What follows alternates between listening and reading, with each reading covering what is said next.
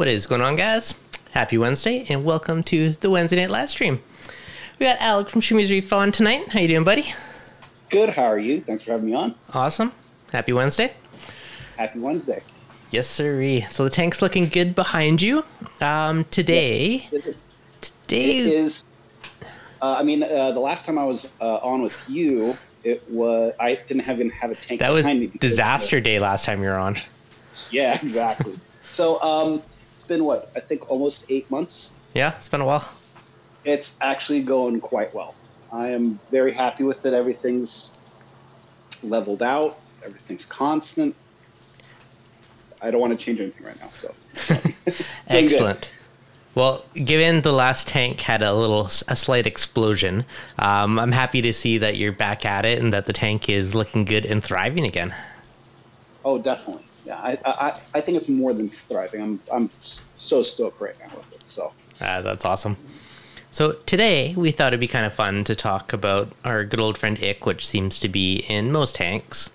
And you can either be hardcore and quarantine and treat and hopefully never get it in there, but that's few and far between. Most people is probably in there, whether or not you actually see it depends on how well you manage it. So I figured Ick management would be a, a good rabbit hole for this Wednesday. yeah. So, I mean, um, I, I guess I'll get. Uh, I get it asked a lot. You know, like, uh, is it a disease, parasite, this and that? You know, before we actually get into ick, you should at least have a little bit of a knowledge, I guess, to the actual cycle. Because Yeah. once you like really understand the cycle and how the pa- parasite actually will transform, how it will go into different stages, then you will have a better understanding on what you can do to help manage it in Yep. your system. So right now we're just going to talk strictly about the cycle and actually managing it because quarantine is sort of a different topic. All right. We'll maybe see if we can get to it. But so I usually like starting off in our substrate. And mind you, the substrate, yes, sand, but substrate can be considered uh, our equipment, our glass, uh, frag plugs, coral.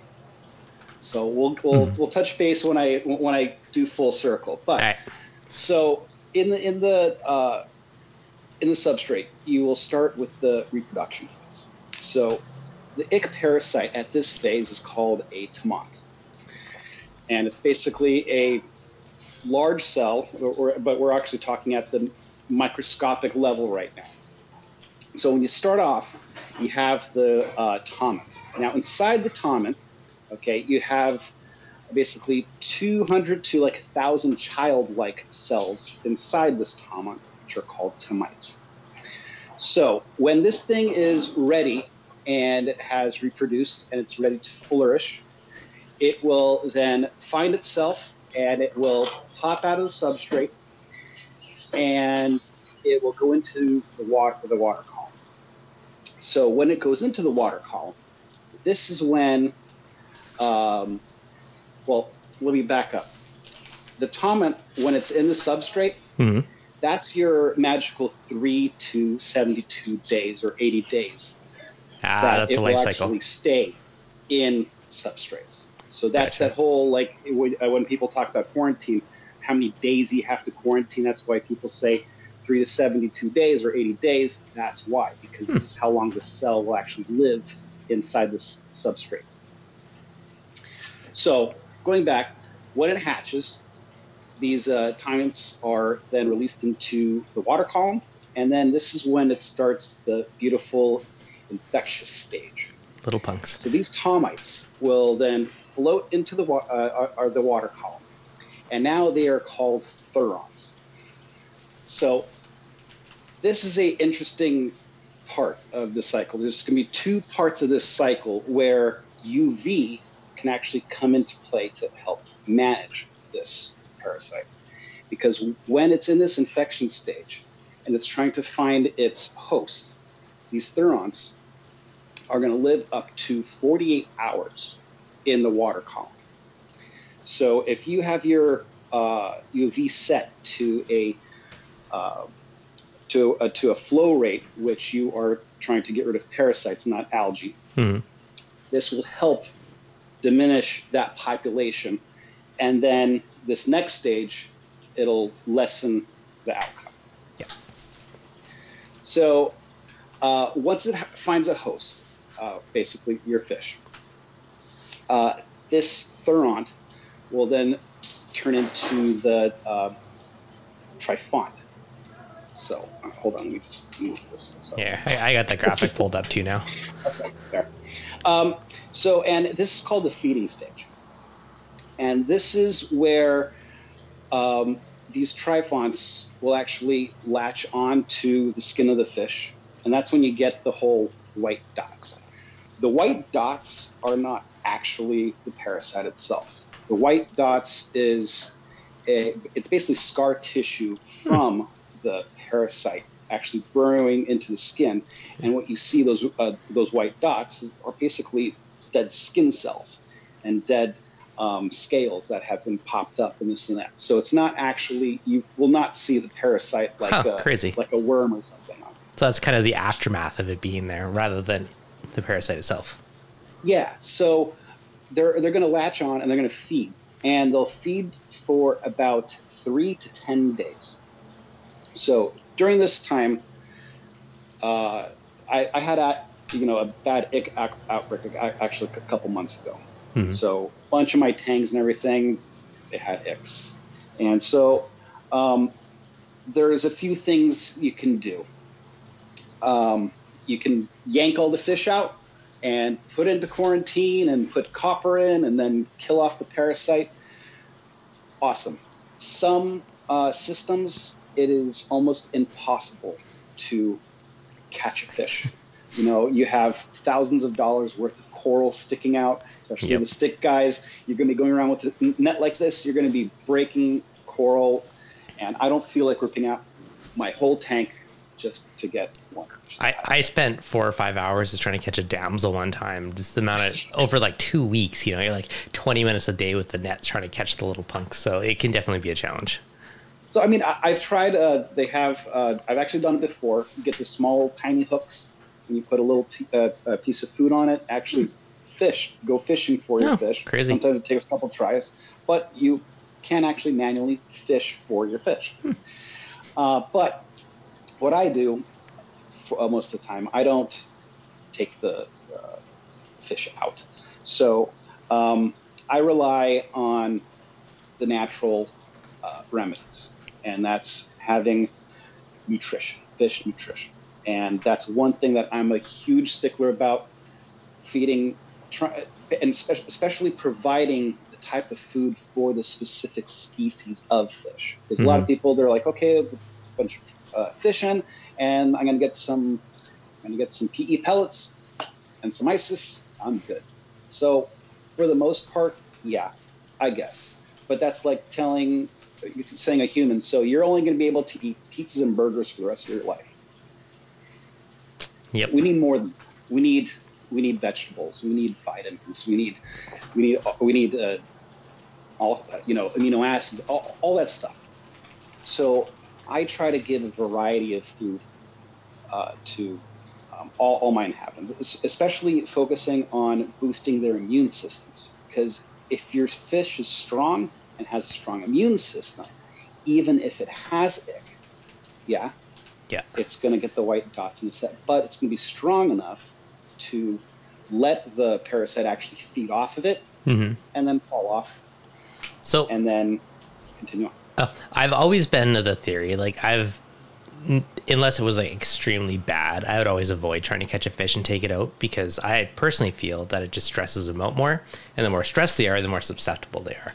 Where if you provide them like a nice zen, happy environment, you know, low stress, then they're more likely to be healthier and get over it. And that's always been kind of my mentality, unless of course it's really bad or it's brand new fish before you've introduced it. But something Yeah. that's already in the tank, then you know, I think it's best to just try and stretch them out the least amount possible, right? Definitely. I mean, uh, after I go- after I go over the uh, ick thing, I, I, I do want to touch about um, just cr- uh, creating. A, this might sound like like the Zen stuff, whatever, but actually Um. creating a habitat and a, a nice place for your fish to actually live, so they're not stressed out. They're not getting sick because they're stressed out. So, um, going back to the reef, reef cycle, uh, the reef cycle, the um, uh, X cycle. There's Yeah. so many cycles in this hobby. I know. Cycles and more Uh, cycles. so, uh, the Trophont period or the white dots. So they're going to be feeding on your, um, uh, your your fish for about three to ten days. After this, this is when you get into something called the drop off. So after it feeds, it has gained its uh, you know strength, and the little parasite's going to keep going on. It's going to drop off, and it turns it turns into the prod. Uh, if I always say it wrong, I think it's the Pro- protomont. Protomont? Yeah, that's how I read it. yeah, the protomont.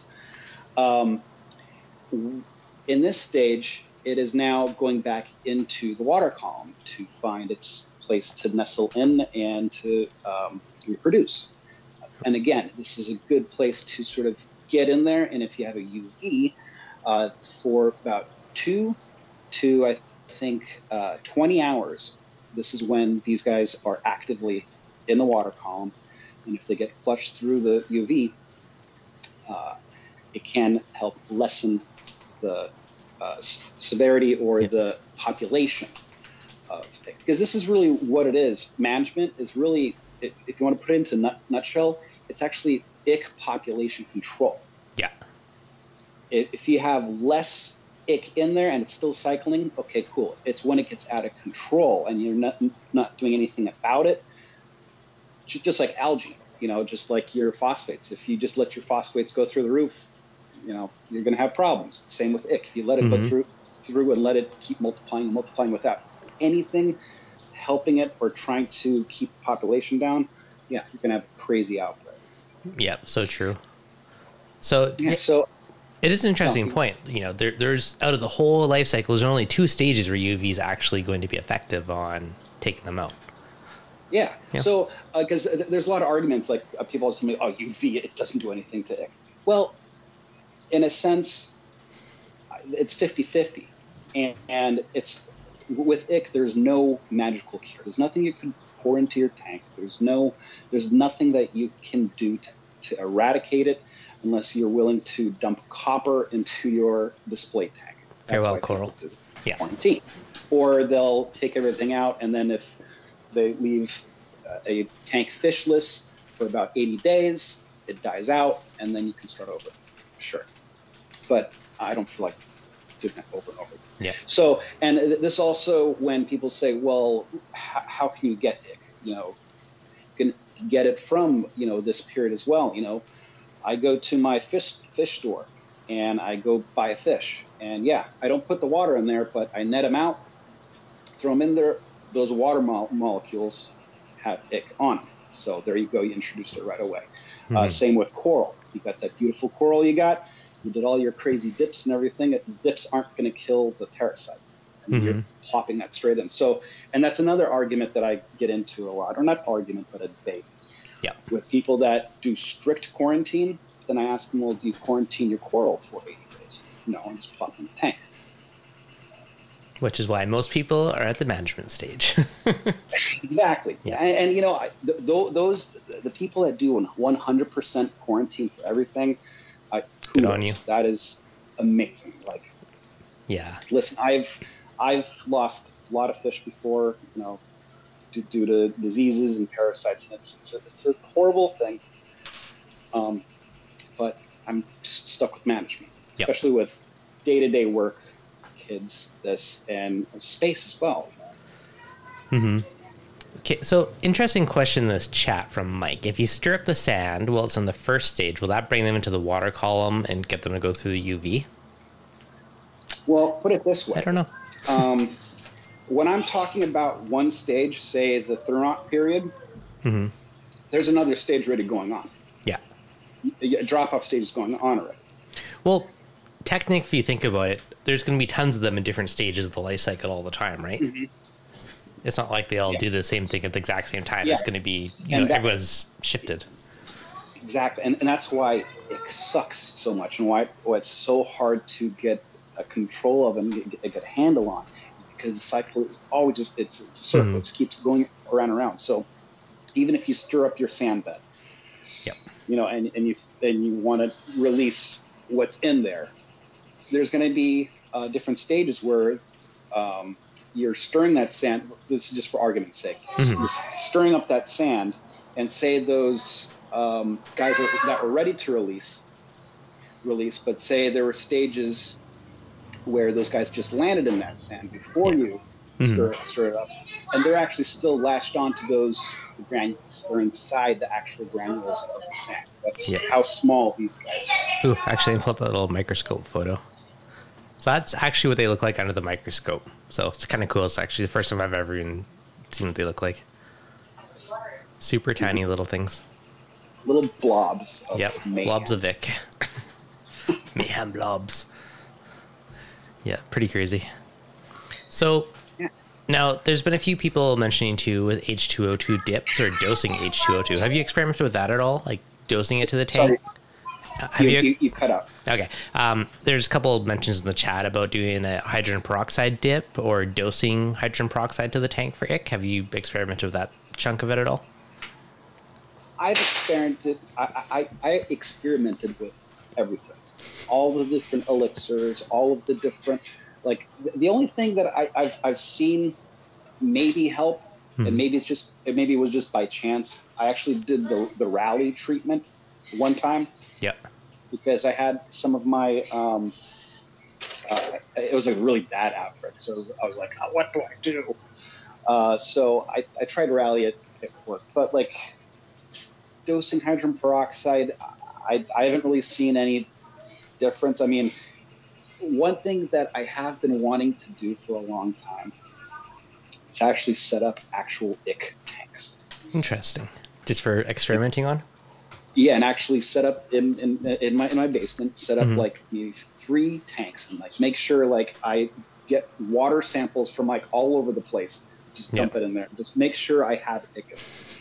And then, you know, find uh, you know, probably get some Tomini tangs or something like that. Mm. Put them in each one, and see what will do it. You know, put a UV on one, and just have UV, put, and dose this, and, and because I don't think there has any like, real studies have been done on marine ick, especially on for the hobby level. At least. Yeah. I mean, I, I've been trying to find reports, and you can get lost in a lot of the scientific, you know, you know, not mumbo jumbo, but the scientific lingo of, you know, how it comes from the metamorphosis and the, all all this stuff, but uh, act- practical um, uh, im- implication of um, eradicating ick. You know, there hasn't been any type of breakthrough. Hmm. Yeah, no, it's true. Um, another one in the chat, uh, Polyp- Polyblab Medic. Have you ever used or tried that one? I, I have some. I've never tried it though. New stuff. Yeah, looks like the stuff. Yeah, so yeah, it's it's like little little pellets. Um, again, like I had ick, or I mean, I, I always have ick, but when when I have a breakout, um, I have put this in the tank Mhm. when I had you know visible spots on it. I put it in there, and three to nine days the spots go away. You know, Yep. I've done it without this stuff. Three to nine days, the spots go away. So again, it's hard to really tell. I, that's why I really want to test out like you know individual tanks and just have this stuff hmm in one tank and see if it'll do something. But again, all this stuff that you put into the tank, it's meant to help alleviate pain hmm for the fish and give the fish relief. Yeah. It will not eradicate and get rid of it. hmm That's fair. It's yeah, it is interesting because I mean, it is something which there's a bazillion you know elixirs for it, but how many of them work? Does it actually work? That's why I don't know. That's why I'm just like keep them stress free, keep them healthy, and let them naturally fight it off. Yeah. So, and that's that's the way I I reef. That's the way I take care of my uh, you know fish. Uh, I have like a whole slew and variety of different types of foods, coral foods, amino acids, and like a, a- another thing that people always forget. Like you're, everybody thinks amino acids. You're putting that into your tank for your uh, coral. Mhm. Uh, the fish actually benefit too. Um, fish will actually absorb aminos through their skin. Uh, so all that stuff, uh, you know, even putting aminos into, say, you have like uh, the PE pellets. Uh, my my go-to thing that I do when I'm uh, when it's pellet day, uh, I'll get a shot glass yeah. and then uh, put the pellets in, and then I'll I'll add different additives like Selcon, Vitachem, uh, amino acids. Uh, there's even this a dietary supplement for humans. hmm Uh, you use the beta- fishies? Beta glucan. Hmm. Beta glucan. Uh, that's great stuff, uh, and it helps boost the immune system. And with fish, I actually learned it from uh, I think Bobby from uh, a Humble Fish. Yep. I, I was talking talking to him for a while about uh, the, the beta, beta glucans, and it's good for that uh, for um, lymph when, when the fish get that too. So Nice. beta glucans. I haven't even heard of that one. I'll have to investigate this one more later. Now, out of all the stuff you've tried, what do you feel has been the most effective so far? honestly, I think it's just fish nutrition and fish health. And uh, I don't know if someone made it up, but uh, I, I, I call it the uh, the three H's: hmm husbandry, uh, health, and habitat. Yep. And those can those are all intermixed. You know, with with husbandry. You know, are you water changes, cleanliness. Um, making sure parameters are correct, no swings in salt, make sure all your levels are correct. Um, with um, habitat, plays a huge role uh, in stress within fish. Agreed. Because the way I aquascape, I think about the different types of fish that I'm going to introduce into that tank. From there, then I'll figure out like this type of fish needs more of caves. Uh, this type of fish, like this type of wrasse, what likes the rocks and the little mounds of rocks to go in and out of. Uh, Hmm. This type of fish likes a sandy bottom. So if you can like create little tiny ecospaces for every single type of inhabitant that you have in your tank, and everybody has a place to go to. Yeah, that that is big. Places to go to. Yep. You know, uh, hiding spots. Um, the more hiding spots you have, the less aggression. You know, that there will be, especially with tanks. That, that one's That's- big. If you have like some of the like very minimalistic aquascapes, they're they're going to be scrapping every night over who gets you know the prime arches and the prime little caves. Or if you have very a ton of like you know holy or lots of different arches, lots of little nooks and crannies all through your rock work, there's not going to be that aggression because everyone's going to have little holes to go into where they're not fighting over it. And I find that actually makes a pretty big difference. huge, huge Yep. difference. I mean, like again, like ima- imagine if you were uh, in a small room with like ten people and there was one bed and it's time for bed. Yeah. You, know, you, you guys all gonna crawl into that one like single little tiny bed, Jumps in at No. first, try and push each other out, get your space. push each other out. Some people are gonna be uh, sleeping on the floor, and what happens when you sleep on the floor and you wake up the next morning? You don't feel good. You know, you're aching. You're And sleeping with the ick and the sound. with like the fish too. You know, Yeah. they're stressed out. He's now aching. I didn't have a good good night's sleep. I don't feel like eating. Mm-hmm. and so that that kind of cycle will then happen. So I'm huge, huge uh, uh, advocate for uh, creating a aquascape that is not only vis- and I get it. People want a visually appealing aquascape. You know, yes, we are, have this like work of like living art in our offices and homes, but um, you got to balance it. Make sure it's visually appealing, but at the same time, it works for the fish. Yeah, hundred percent. Sid, quick shout out. Thank you for the super chat. Um, I hundred percent agree though. Having a hole and home for everybody plus some make a big difference. Like that, that is huge for reducing aggression because it gives people a way to hide out. You know, if someone's bullying them or stressing them, they're not going to see them twenty four seven, right? They can go hide in their nook and cranny. Or if it's all open, they're going to see them and they're going to be more intimidated all the time, and it just adds to the stress level, which makes them more susceptible. So Yeah, and like again, when stress levels go up, that's when health goes down. You know, mm-hmm. when even like in uh, us humans, when you're stressed out and you're thinking about like, oh my god, work, or this and that, it's not. And if you are stressed, stressed, stressed all the time, your body will slowly start to shut down. You'll either get the sniffles, you get sick, you get a headache all the time, and your your your health technically will actually decrease as your stress levels go up. You know, that's you know, think about people with, with, with having uh, heart attacks and, and high high blood pressure. Yeah, all stress you know, related. If you, if you sort of think in the way the fish, you know, are thinking in a sense, you know, same thing's going to happen. You know, they're going to be stressed out. Their their quality of health is just going to depreciate and keep going down and lower and lower, and that's when all of a sudden, oh my God, I have white spots all over my fish. Uh, yep. Or, oh my God, you know, what's this slimy stuff, you know, or the brook. You know, that's when that stuff is going to really start to latch on. Because the, these parasites and diseases don't just, it's very rare for, for them to just latch onto a fish and then boom, kill the fish. Yes, you have like more of the, I, I'm, I won't get into it today, but like, like Velvet and, and Brook, you know, that's mm-hmm. completely different Nasty. animal than you know, ick. Um, but in terms of ick and you know other types of uh, sicknesses or diseases, you know, for the most part, fish that are healthy and strong will not be as susceptible to these things. Yeah, they, they are be- they're better at fighting it off. Exactly. Yeah. And again, that goes back to management mm-hmm. and how, you know, when you're dealing with ick management, that's what you're doing. You're basically thinking about the fish all the time. You're, what are you feeding it? Uh, wh- what kind of water is it in? Uh, you know, what are you feeding it?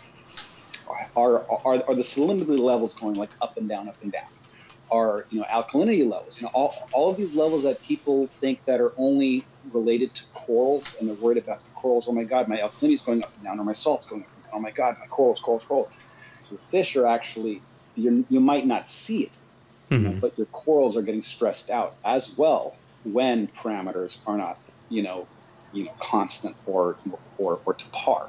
Yeah. So and then all of a sudden that's when you see a type of outbreak. Yeah, very true. So yeah, usually some of the stress factor, and eventually it wears them down, and then it gives an opportunity for the ick or whatever pest to thrive. Waiting for the little one cameo. oh, she just knocked over the light. Oh, that's what that was. We're only live. Bye. it gets dark in the room.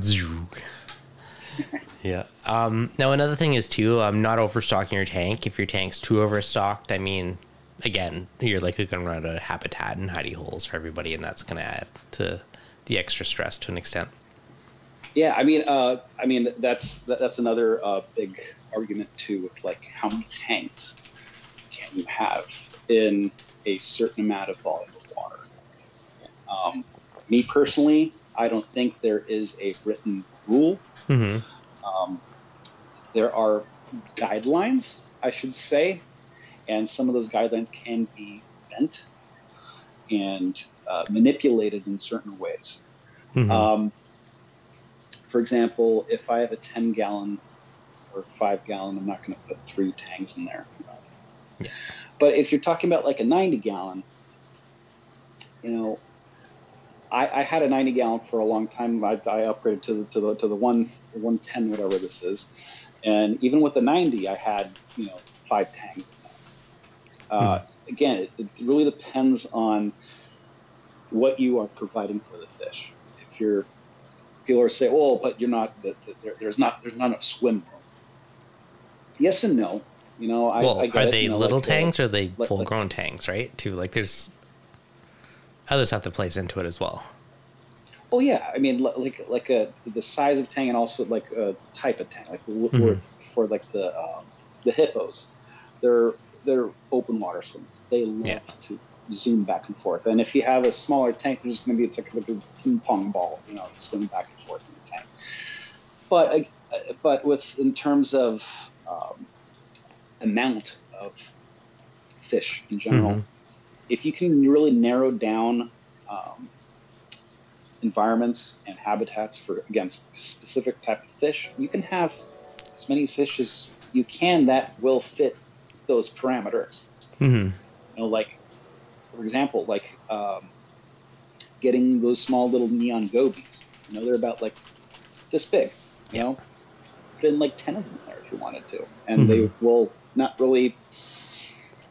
They won't get stressed out or anything. They'll they'll find their little little tiny uh, little niches and holes, and again, it's, it's finding the right uh, fit for the fish in terms Yep. of habitat.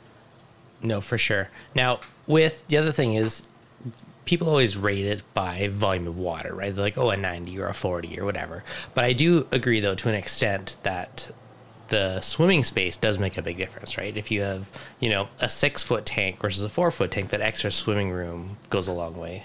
Melanie, thank you as well. Um, so it d- definitely. Um, so the extra length, I feel you can get away with a lot more with fish too, rather than like a tall tank, right? Because it gives a lot more room Yeah. for habitat, a lot more swimming space, a lot more room for little caves and different things. So length length over tall for more fish, I find works out pretty well. Well, and just in, in general, just like tall tanks. If you've had a tall tank, you know the troubles with Servicing it.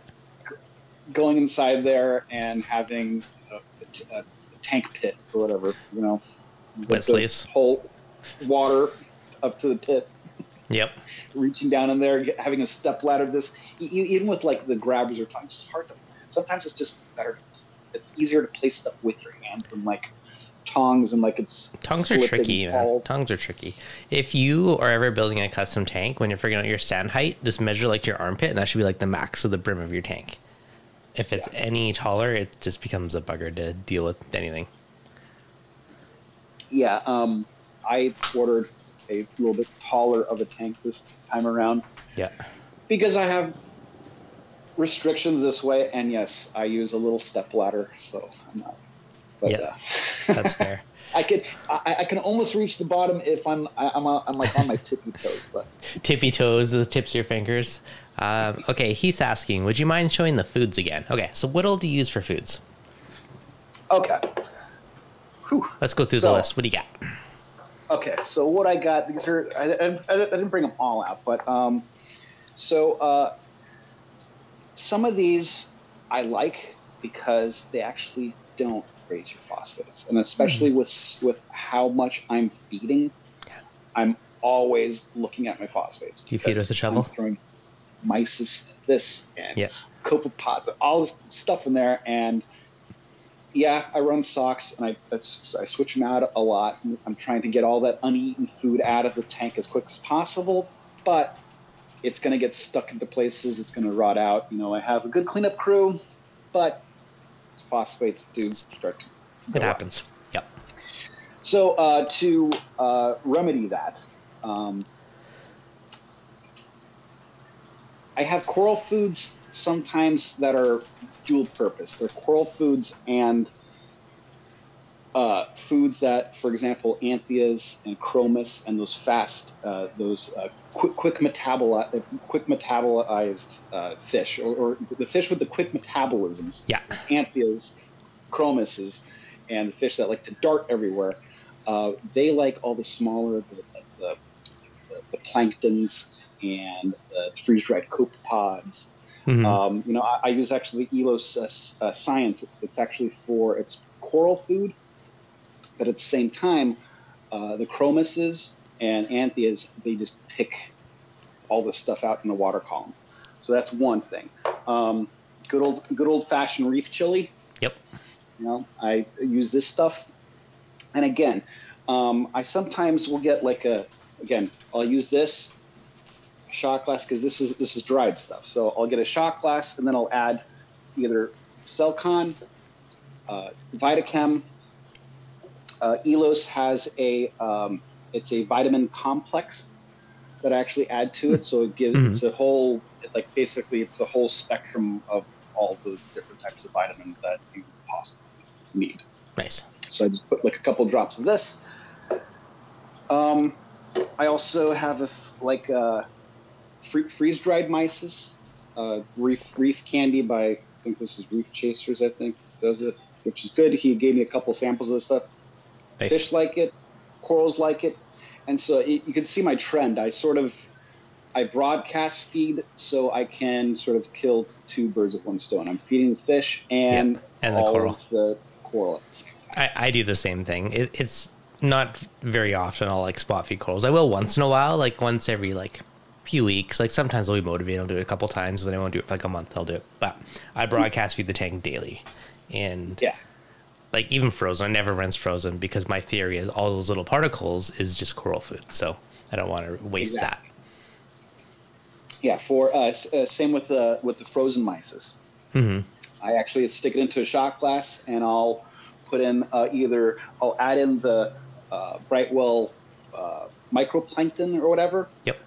and again I'll be feeding coral and the fish at the same time. So it's a lot of broadcasting, but the thing that I gotta you know really uh, emphasize is you gotta watch the phosphates and pay attention to your filtration system.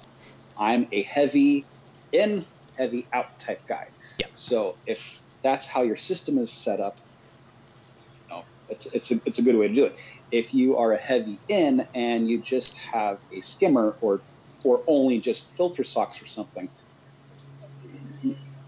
gonna have to watch your phosphates because those are gonna start to creep up quickly. So okay. So what is your heavy out strategy? What what do you use for export? Okay, export. So uh, mechanical. Um, I have my uh, skimmer. Yep. and I have an oversized skimmer. I have the the Regal, I think 150 SS, whatever the, the Octo one. Um, it's rated for I think like 300 gallons or something. Nice. So I have that guy, and he's and he's always producing just like coffee, black skimmate, Lovely. lovely. Wife loves it too. Uh, um, uh, my socks. I try to. I'm. I try to switch out my socks every couple days. Um, people are always telling me, "Why don't you have a roller mat?" Because it won't fit, and I don't feel like ripping apart my system right now. Next one, sure, I'll, Yeah. I'll look into it. Um, but uh, I try to be very um, religious about my uh, sock changing. I have two two full full size 14 inch socks, and they go down.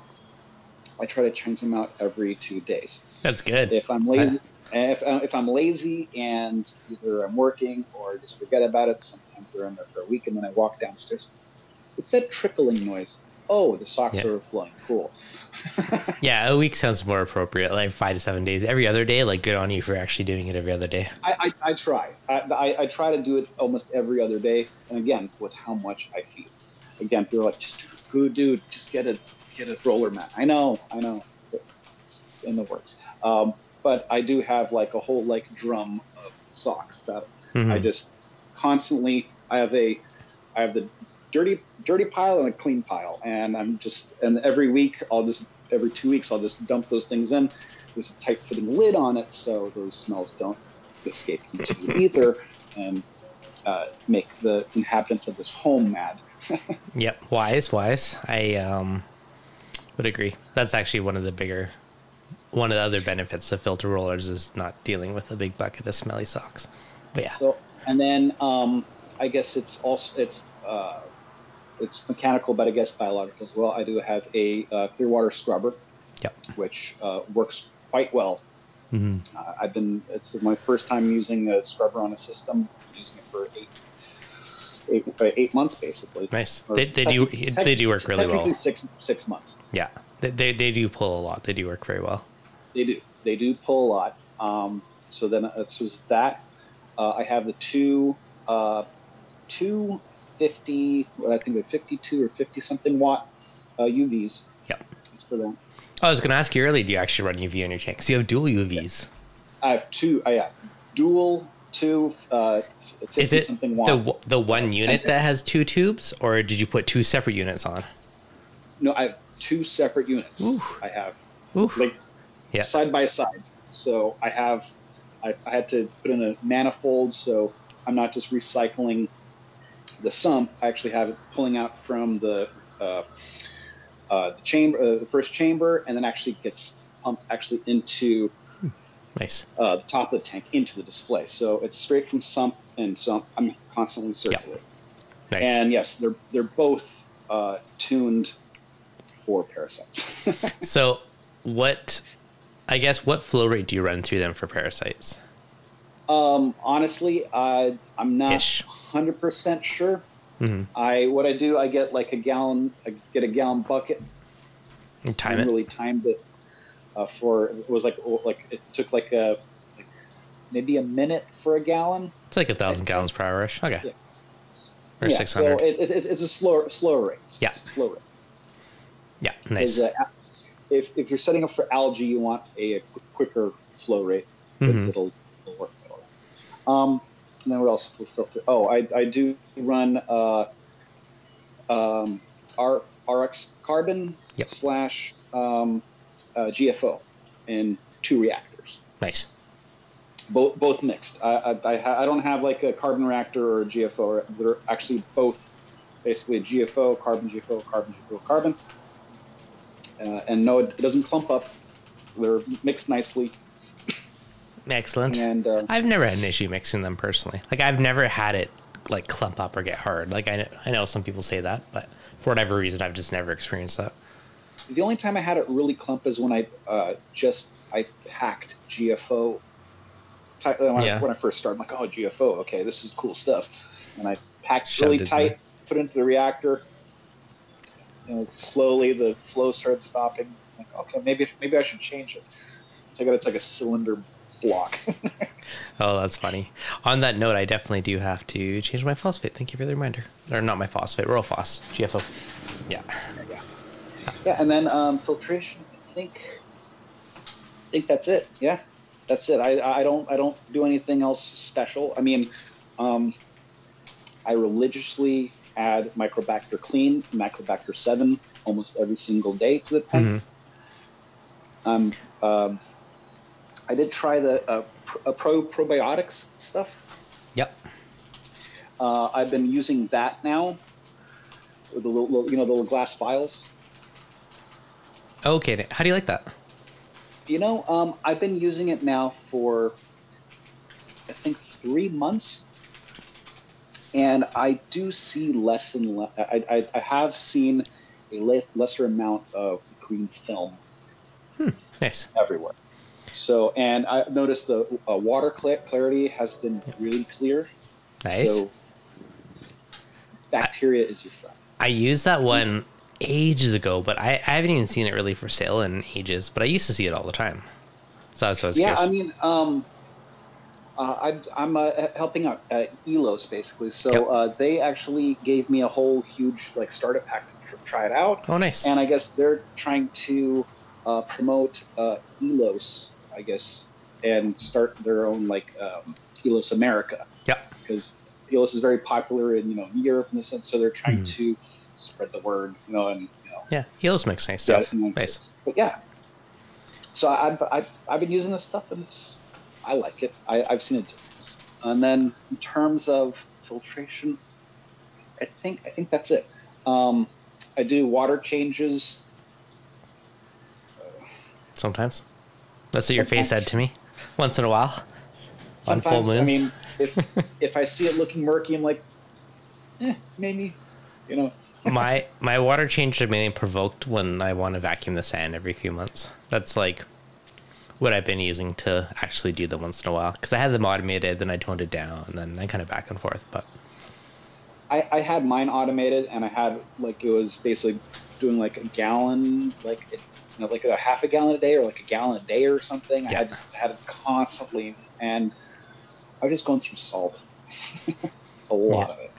it happens. I was always mixing it, and I, and I have like two big uh, brutes downstairs, Mhm. and I was always mixing, always mixing them up. So I toned it down myself, and when I um, really stir stuff up, and when I uh, vacuum out the sand, that's well, I'll, I'll do the manual, Mhm. and then I'll switch on the uh, the uh, auto change, and it'll like do like 30 gallons in like 40, like 24 hours or something, Yep. 48 hours or something. Goes.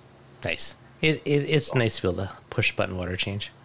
It is. Yeah. I'll, I'll, I'll be at work. I'm like, you know what? Water change.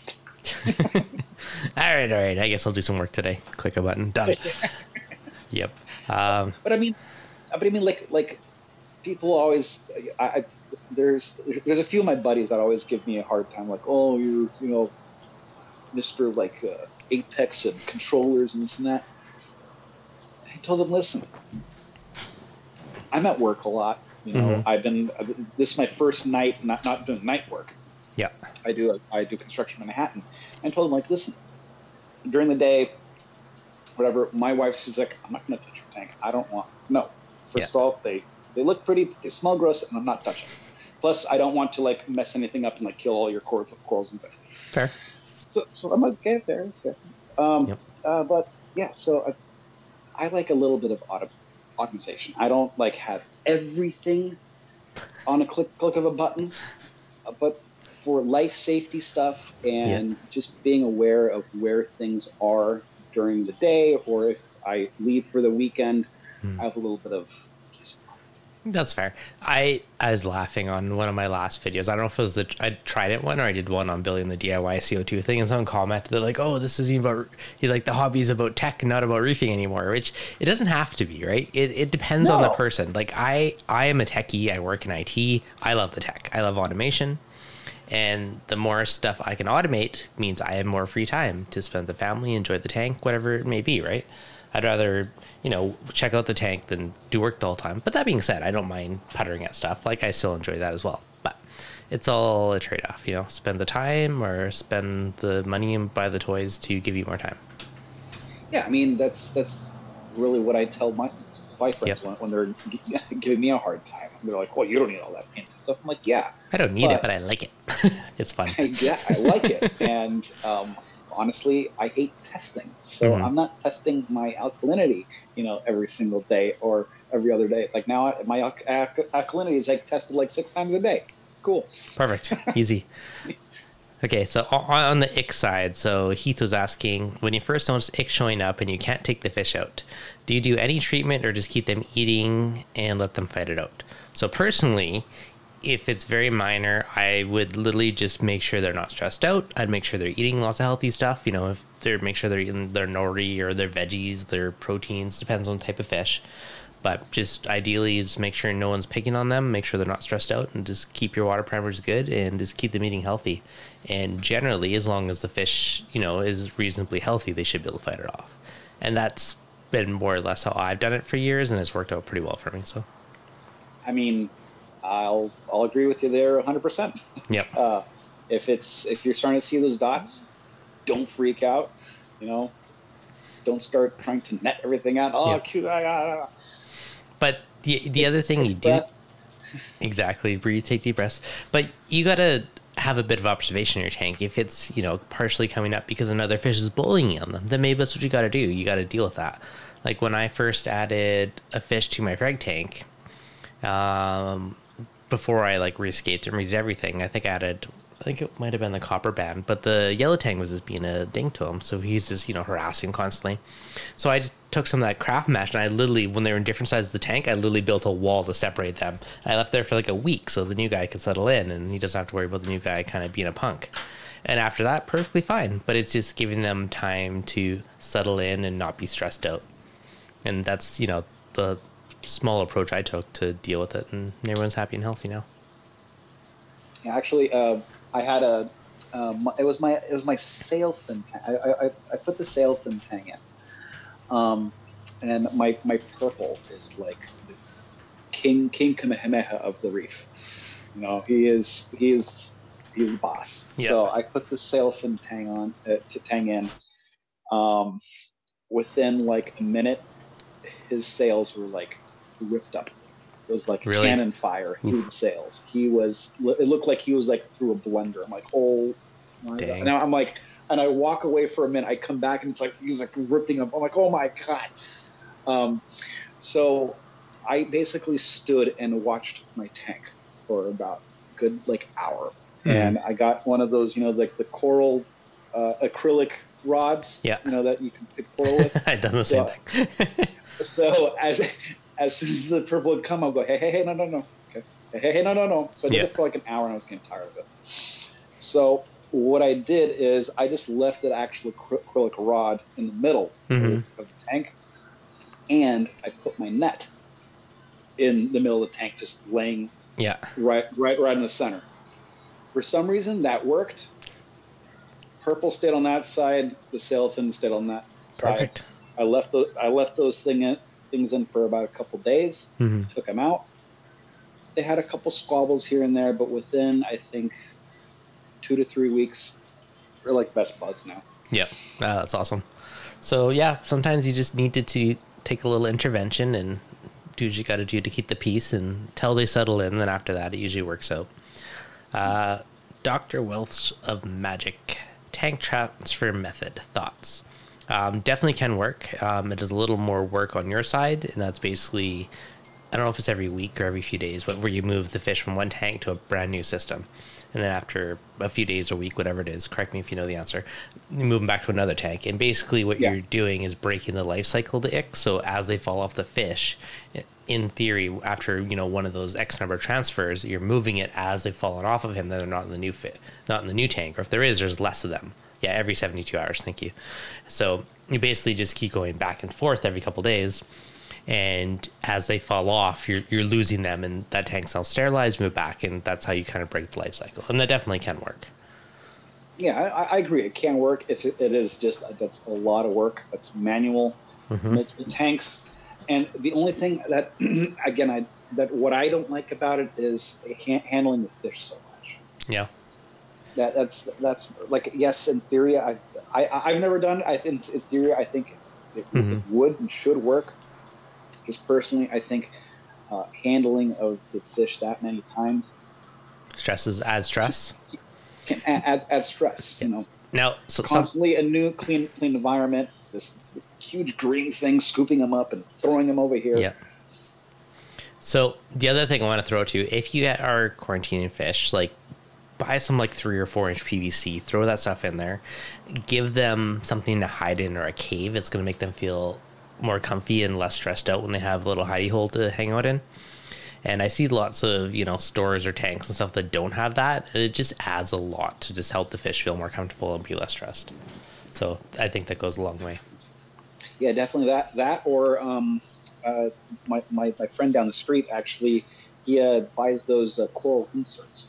Mm-hmm. And he actually just put a, those like PVC plastic, whatever resin coral insert into his quarantine tank. And uh, he actually nice. had a like a like a fake uh, uh, uh sea anemone. Mm-hmm. He, had, he was quarantining as a, um, a, clownfish, and they actually hosted that little. Oh, that's cool. Or or or the that hosted the clownfish. Yeah, that's awesome. um, now another one I saw come up in the chat a little while ago is do do do do. Oh, fresh freshwater dip. You're asking about that. Have you done freshwater dips? Um, yes, I have done uh, freshwater dips for uh, fluke.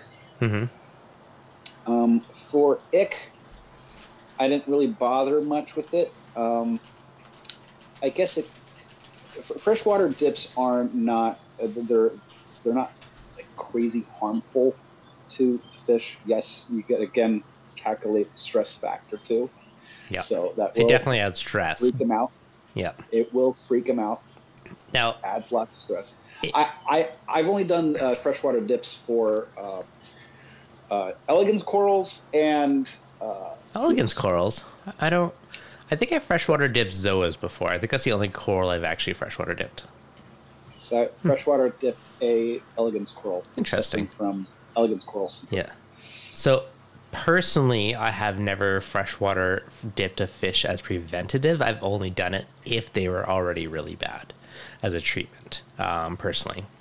Now, for the quarantining side, because I've seen a couple of people mention it, uh, Dr. Wealth, not lost a fish five and a half years, 12 days quarantine done. So I did a similar thing.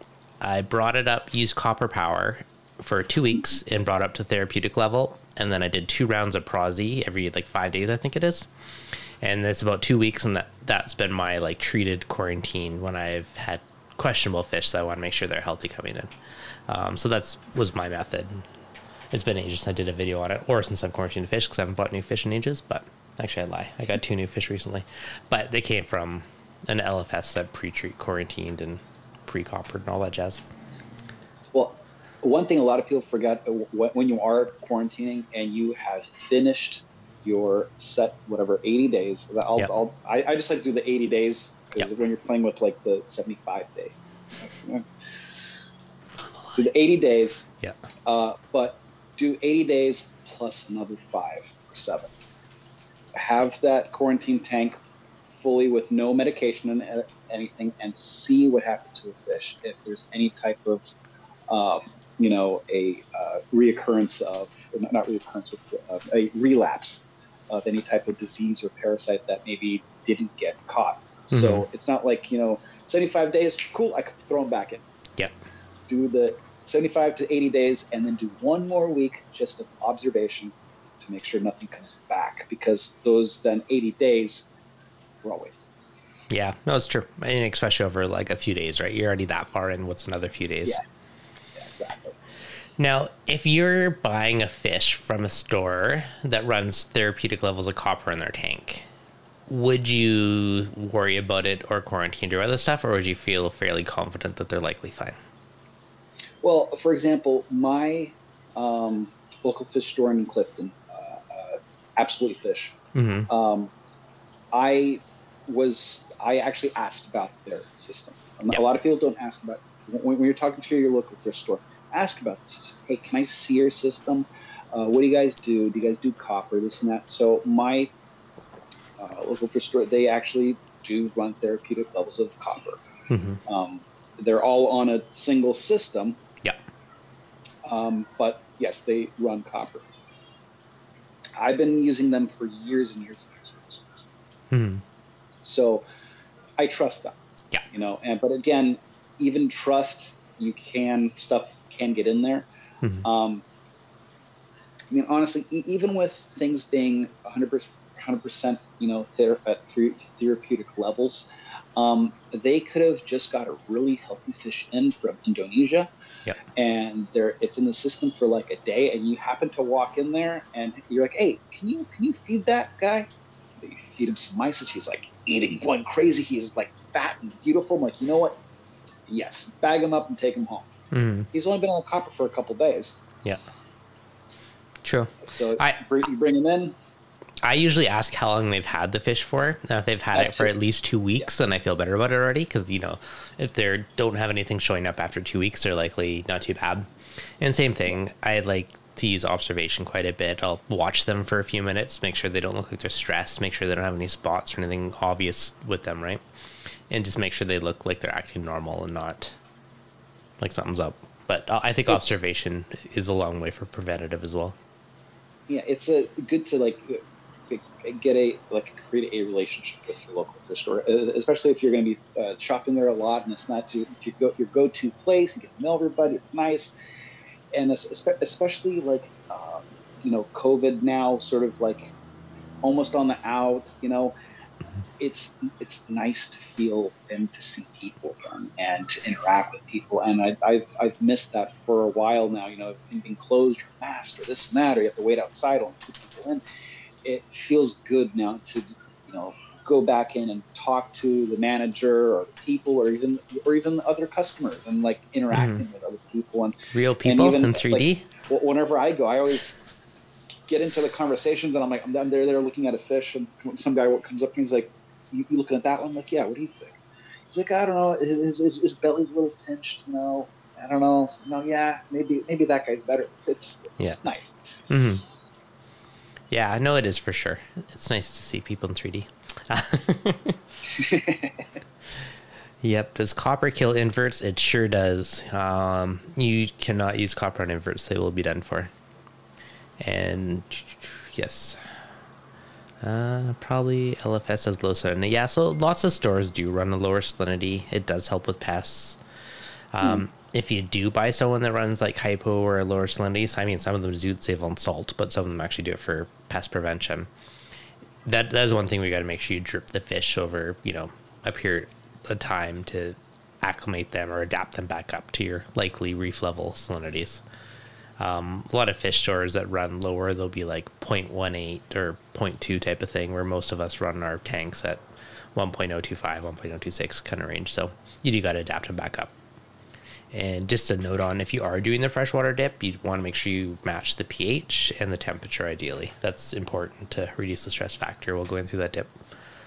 Yeah, you, you don't, you don't want to get like uh, water from the fridge and just like put. yeah, yeah. Temp- temperature and pH are the bigger things that will shock them. So those are the ones you want to match. Yeah. And yeah, like I, lots of people do it is on the way in, and I don't know. I always feel bad. I've only done it just if there's already an issue that I noticed yeah, that I'm going to deal with. Yeah, I've only done it like for example, I've, I've had, had flukes a couple times. So I was like, uh, I was looking at this one fish, and I'm like, oh my god, what the hell is on that thing? Mm-hmm. And I'm, I'm, looking closer, closer, and you, you, can sort of see the little white. And the, it's, the white it's film in the gills. The, the ick spots. Yeah, you know, so they have like a little bit of a, a roundness to them. You can actually tell it's something on the fish. Mm-hmm. Uh, and yeah, that's the only time I did ick, and I did like I think like maybe a minute, maybe a minute, and as soon as I put it in, you, you see everything will fall off like like a hair dandruff almost. Yeah. And then everything just turns like super white, and don't get freaked out because the fish will sort of like contort and like. Oh, especially yeah, hippo tangs they'll play dead. It totally yeah, like you freak out. just like contorting, like I'm like, oh my god, I just killed my fish. Yeah, yeah. They actually, I had one. It freaked me out. What was the early days? It was playing dead. It was perfectly fine after, but it totally freaked me out though because he's like on the side. Like I'm like, what the? Yeah, I was talking to someone else. They're like, don't worry, they do that. I'm like, oof. It's weird. Like tangs, uh-huh. tangs are like, especially like uh, the hippo tangs. Mm-hmm. They're, they're, they're they're a weird fish. Uh, the, the other day, um, I, I thought he was dead and he was just wedged like face first or mouth first, fins up yeah. into a rock, and mm-hmm. I just mm-hmm. see the fit, the yellow fin sticking out, motionless, and yeah. the, the, and and the tail is like just flapping with the flow. With, and I'm like watching the corals and the and the tail. Yeah. And the changes direction, goes this way. I'm like, oh my god. It goes this way. Oh my god, I think it died. So I go in there, and I was just gonna grab it by, by its tail and pick it up. All of a sudden, yeah, I'm like, oh, scared the crud out of me. Oh, that yeah, it it is freaky when they start jumping out of nowhere and you don't expect it. They like come and bite well, you out of nowhere. It just like I don't know, I don't know why, but it gets you every time. it does, uh, and especially uh, uh, uh, the hippos. I've had bad experiences with hippo tangs. I've been I've been uh, sliced by them twice already. Oof. Oof. Did it suck? It, it was hurts. it bad? It hurts. I haven't oh, had yeah. that yet. Uh, the the, uh, the the the the first time was when my uh, tank exploded. The first time, the, the, before this one. So and I was totally off topic, but how did your tank explode? This is this sounds like oh, a good story. Okay, so um,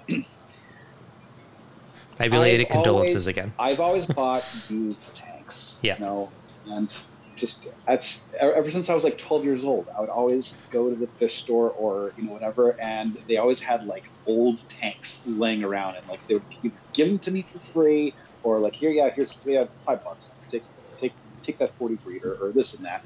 So I got a really good deal on an Oceanic Tech tank. And, mm-hmm. oh, I, I remember Oceanic Tech tanks. They were like oh, the creme de la creme, you know, the Starfire class and you know thick glass it's like built like a tank. The only flaw with these tanks is that they're made to be put on a stand that was completely open with no, you know, supports or anything. Uh, but the way the tank was built, you had the bottom uh, or the side of glass, bottom pane. Um, there was a little bit of room. Mm-hmm. So I think my uh, seam just gave. And so on the right side of my tank, the whole seam going all the way across went poof, like that, crack across, and then everything just started gushing out from the bottom. Oof. Yeah, quickly too. Dang, that sucks, Tracy. And, thank you. Damn, that sucks. I and I, I walked into that too. I, I, was I was at my in laws and I, I come home I'm like, what's that noise? I just hear the pumps running, and th- this is before I had an Apex or anything like that. I Mhm. was like, oh, whatever. And so I I hear just just that that hum grinding of a dry pump with no water on Oh. and just echoing in my sump sump is completely dried water's like down to here Yeah. Uh, getting rags shoving it uh, is is bad but the, the way the way i cut myself i was um, trying to quickly get all my uh, fish into uh, i had small holding tanks i had a, a ru- rubbermaid uh, drum that i got and I, luckily i had like pre-mixed water i just brought all the water upstairs and you know Yeah. through all the fishing, and I was trying to get uh, one. I think it was my uh, wrasse. I was trying to grab out of the sand, and I guess the hippo was up against in the corner. Got freaked out. He slapped me, and like my full like Oof. right down the whole thing. So I had like when I'm like trying to take apart my uh, tank, I had like this like rag. I'm like blood, Oh. sweat. I had a couple Dang. tears too. Just to add insult to injury, eh? As you're trying to save them and they're whooping you. No, that was a. That was a- like, and, yeah, that, that was that was for my birthday. Ah, dang, dang. hey, I've had one tank crack on me, so I feel you, and that's been like, it was a, a bent glass one too, so I'm like scarred against bent glass now. year. But yes, sim- similar thing where, uh, but thankfully I was home, but like just home, like minutes within walking in the door. There had we had like the puppy crate that was right beside the tank. Like it was only 24 Yeah. gallons. Like it was one of the old innovative marine bent glass ones Yeah, yeah. and we're, we're in there and we literally came in the house and like set the groceries down and there's a big bang! And all of a sudden the puppy starts freaking out and it's just like this like crack around the corner and the sheet of water started coming out dousing the puppy and i don't know how i found like duct tape. I'm trying to like duct tape it together and i'm like using the waters coming out to fill like laundry bins and baskets and like buckets whatever i can find. It's like full of like fish and coral. It's like pure chaos. So it sucks. Yeah, I, i, I, feel I, you I had like a laundry basket too. I had like you know coral and like my live rock in, in, in it. And that's one thing. If you want to have to be ready for anything, one thing to always keep on you, hmm in the basement or in the closet somewhere, keep like a 40 gallon breeder, a couple heaters, maybe a maybe a pump, maybe a wave maker, something that if something really goes bad, you can at least put your fish into something. yeah happens. Yeah, I know it's true. I still have like a little three foot, 30, 40 gallon, whatever it is, tank in the shed. It's good to have. Or Yeah. like brute containers, And like anything, like- just something you can make as a ghetto temporary tank. Yeah. My uh, uh, garage, my basement, I have I think uh, garage. I have a, I have a couple like 20 gallons. Basement, I have like two uh, 40 gallon breeders. You know, so it's It, it's just the in case. it's the fine line though of like hoarding too much stuff versus like actually having useful backups. Yeah, that's that's always the wife's thing. I give too much fish method. Another thing too, if you need like a quick temporary tank, like Home Depot sells these big like four foot big bins for like fifteen bucks, and those are great. Like I use those for temporary tanks when I was redoing my tank, and they're cheap and they're effective. I mean, while uh, my uh, while uh, Joe from Glass Cages was basically build, build- building this new one, I had all my live rock um, actually in a huge uh, vat like that hmm uh, in the basement. I just put a couple. I had, I, I like those the H80s, whatever the Kessils. Yep. I had a couple of those over those bins. Stick a wave ma- maker in there, and every couple days I would throw some um, microbacter in there, sprinkle some pellets, and then all of a sudden I saw like crabs come out of nowhere. I had snails coming up the sides, and then I had actual coralline growing on the inside of the Rubbermaid. Oh really? Oh, perfect. So you had that running for a while. Yeah. Um, what's your guest name? Alec, aka Shroomies Reef. So actually, on that note, if people want to ask you questions or find you, what's the best place? Uh, you can go to uh, Instagram at Shroomies uh, Reef, or uh, you can look me up on Facebook, uh, Shroomies Reef on Facebook. We have A, a little group, a little page.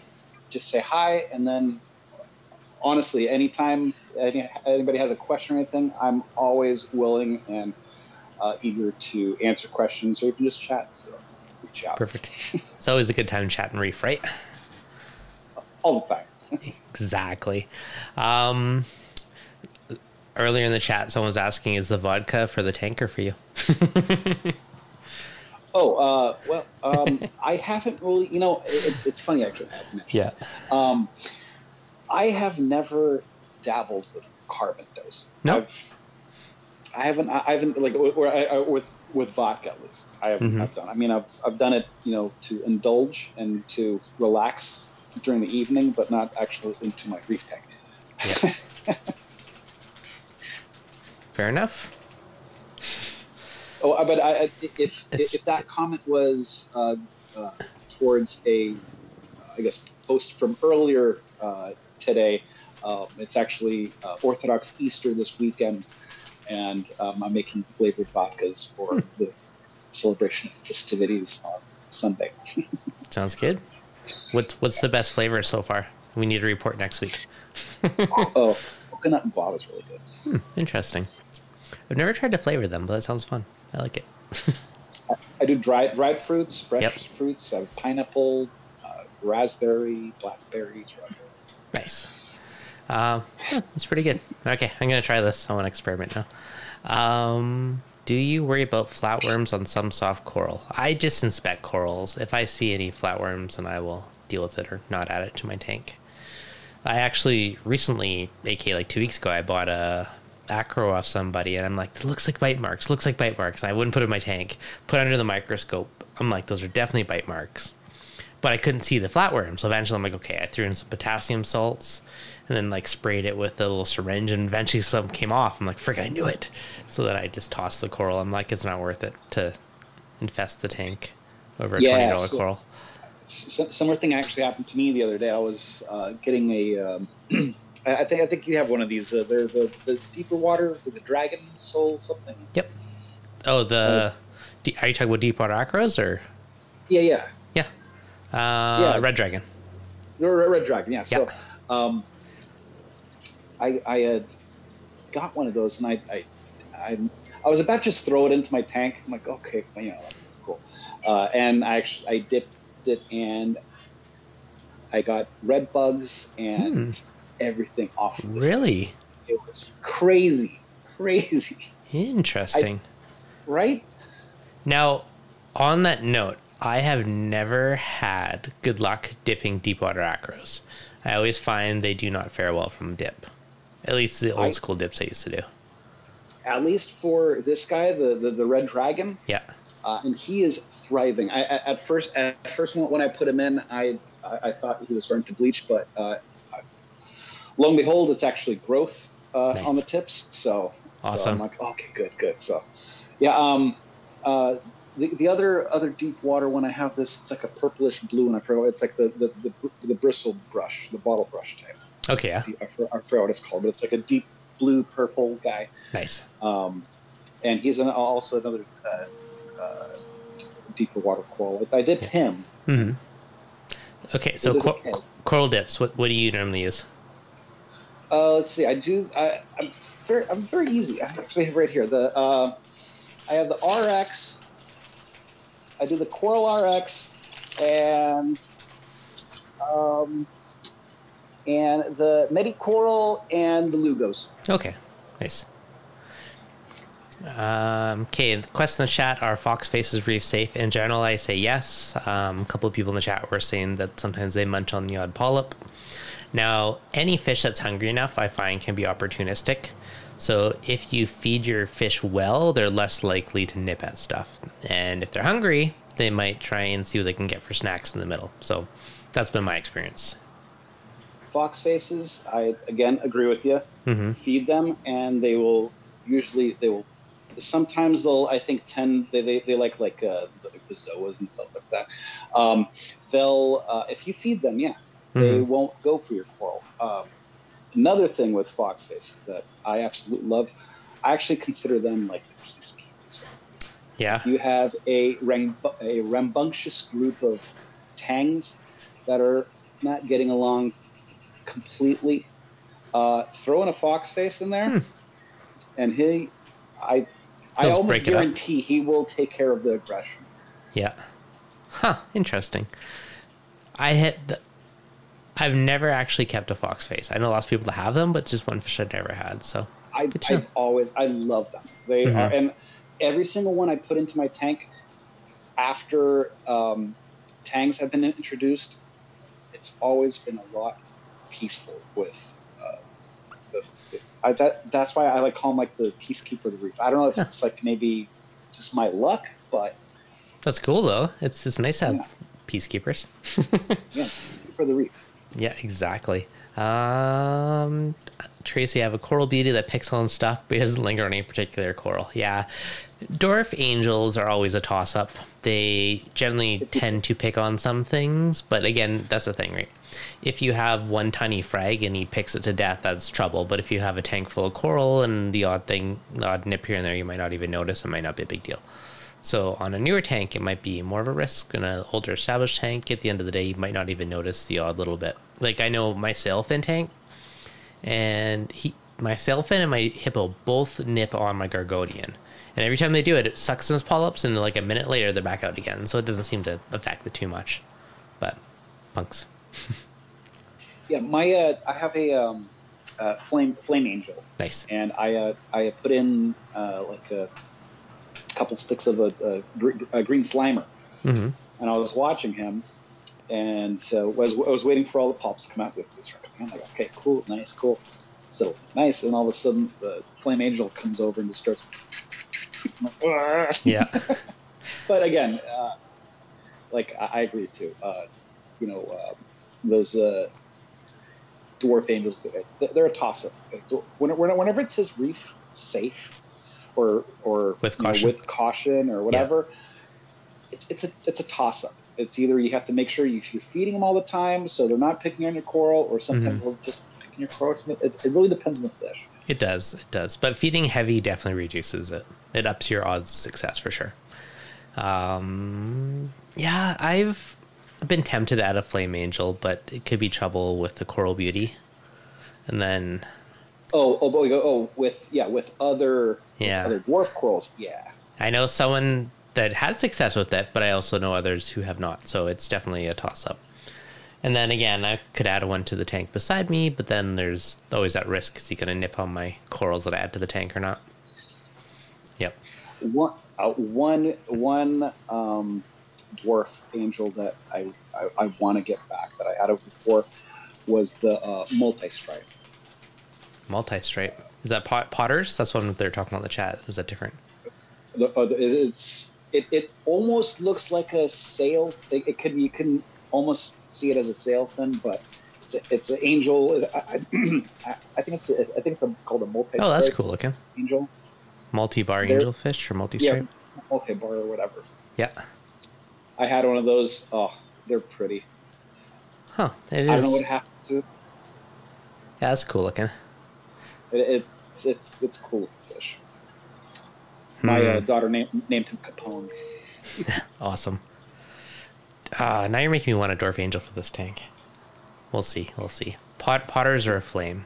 Maybe one of the two. One of the two. Okay, do you know what was odd? Speaking of like slight fish aggression, there was something really weird going on with um my Melanurus wrasse and my copper band butterfly. It's like the wrasse was being a bit of a punk to the but- butterfly. He like he's just coming up quick towards him, and the butterfly flares his fins out. It's really odd. I've never actually seen like would expect anything with those two. Like right now, they're fine, but earlier, like I took a video clip of it, and it just was like really odd behavior with those two. I gotta see that. Yeah, I'll send it to you later. It wasn't like nothing super intense in the video, but it just is a weird behavior. My Melanurus wrasse, I think, is the nicest wrasse in the world. Yeah, they're pretty. He's well, he's missing his top jaw, Yeah, so he can't really attack anybody. He actually eats more. yeah. my, mine eats all of my snails. He's a punk. I, So yeah, I'm I'm actually I might need to get another wrasse because he was eating all my snails and everything because I have a crazy population and was keeping it down. All of a sudden, long story short, he got into a skiff with a, uh, I think a bristle worm, and then he was trying to rub off all the bristles off the top of his jaw. So, you know how the Melanurus wrasse has a nice little point comes down for the Yeah. mouth? Yep. Is like this. Oh, crazy. like. Oh, weird. Like this. Yeah, mine's definitely has the point, has the cone shape. Yeah. The pylon shape Mine nose. like Hannibal Lecter. Ha. Crazy. Uh, Dr. Welsh, my Melanurus transitioning to a male right now. It is pretty crazy how fish can change sex. Certain fish. It is, and and, it, and it's weird how like different uh, species, like you know, like clowns, you know, they will turn into the female, Yeah. and then with like anthias, they they will turn into male. So Mhm. it's, it's it's interesting. Yeah, it's pretty crazy. It's like, oh, we don't have one of these. Okay. I'll do it. All right. Yep, whatever works. Yeah, so it's, it's pretty crazy. Um, now, the other thing to consider too, just speaking of that, like fish can change sex, and like anthias, for example, usually there's one male to multiple females, um, and you know usually you get your one like super male, and then the other ones will be more like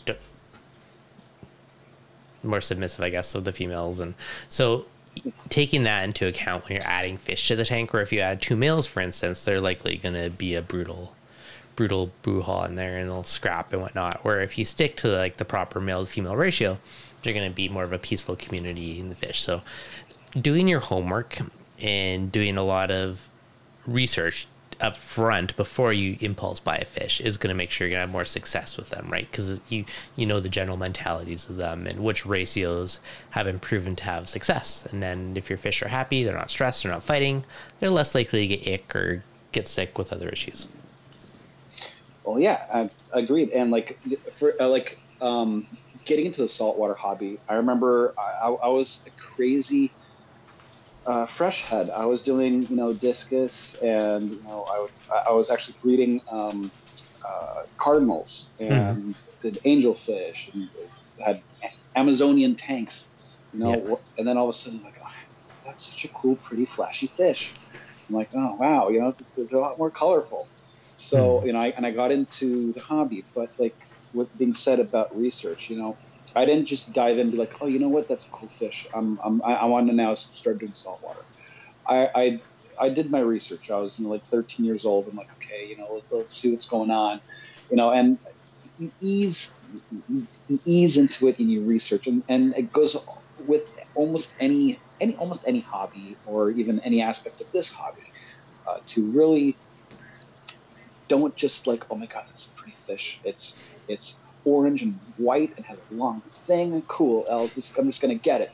And then you bring it bring it home, and then you're like, um, it's not You're like, oh, pellets. You're like, oh, that only eats clams. There goes my overly priced Maxima. or th- or that. so Yep. So it, it definitely is worth researching that. And to to that point, there is some fish that are likely to eat corals and other stuff, right? So you got to make sure it's not going to eat something that you primarily keep in your tank. Um, or if you have one of those fish, you know, maybe you know you're going to give up clams in the future, and you just got to live with that. So like I, I, I really want to get. I I love the. I think you have one. The uh the tu- the tube anemones. yeah, yeah, they're yeah, awesome. they're really they're really pretty, but uh, the smaller, little slower moving fish, Hmm. they're little snacks. Uh, the um, again, correct correct me if I'm wrong, but like uh, I've, I've heard like the neon gobies, you know, they are usually a good snack for those tube. Yeah, I don't I don't see. know. I don't have any neon gobies, so I can't say. But my fish have all been safe. My small, my smallest fish is probably the cleaner wrasse in that tank, or like royal gramma maybe. But they, they've all been fine.